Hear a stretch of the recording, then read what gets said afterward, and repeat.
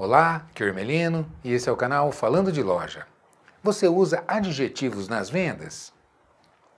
É interessante, mas esse é um recurso que está à disposição e que pouca gente usa, não é?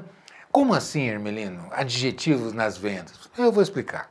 É, quando você faz demonstração de produtos, que você apresenta uma característica, um benefício do produto, não é? É tão importante você enriquecer, passar uma percepção melhor para o cliente daquilo que você está querendo demonstrar, não é? Vou te dar um exemplo. É, você pega um produto, uma blusa, e você fala do tecido dela, querendo evidenciar que a, a, esse produto é mais social, deixa a cliente mais elegante. Então, quando você fala do tecido que é composto, ou o modelo, o corte que ela é feita, você, se você acrescentar o adjetivo elegante, deixando muito mais elegante, ou marcante, ou sensual, percebe? São adjetivos que enriquecem a demonstração, passam melhor a ideia do que você está querendo demonstrar, não é? Então, econômico, confortável, prático, percebe? São é, adjetivos que enriquecem muito mais a demonstração que você está fazendo,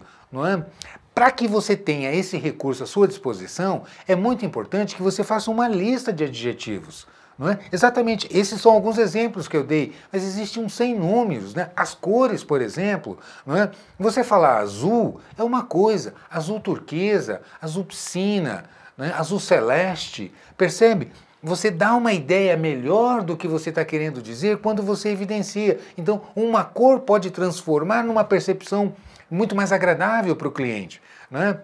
Esses dias eu estava comprando camisetas numa loja, até um cliente da gente, e, e, a vendedora me apresentou uma cor e eu disse: Não, essa cor aí eu já estou. Ah, eu tenho muita idade, eu não vou usar esse tipo de cor. É rosa. E ela disse: Não, Hermelino, é salmão. Percebe? Então, é, quando ela, ela, ela, fez essa colocação, realmente eu olhei para a camiseta e, e para encurtar, eu comprei. Né? Foi uma das que eu incluí na lista de, de, de camisetas que eu estava comprando. Porque realmente muda. Né? Depois eu me toquei e disse assim, nossa, é, é rosa. Não é? Então, é, quando você tem essa lista de adjetivos à sua disposição, você com certeza não vai precisar pensar na hora de falar. Né? Automaticamente, sai espontaneamente quando você demonstra. Então, palavras como essas, que são adjetivos qualificadores, né? como confortável, sexy, é, sensual, marcante, requintado, exclusivo e uma série de outros que você, se você fizer a listinha, e treinar, treina com seus colegas, não é? Pega e, e, e começa a exercitar isso e você vai perceber que vai sair espontaneamente, naturalmente a hora que você está falando e fica muito mais rica a sua demonstração, não é? A capacidade de influenciar o cliente aumenta muito. É? Isso é técnica, isso faz parte de um conjunto de técnicas que você pode ter. Né?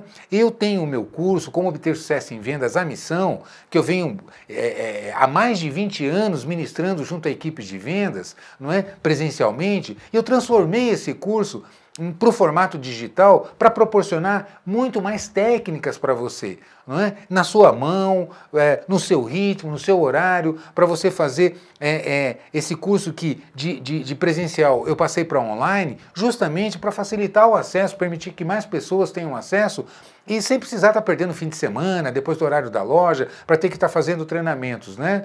É, você faz no seu ritmo, em casa, nos horários que você se organiza. Não é Para isso, eu deixei o link aqui embaixo.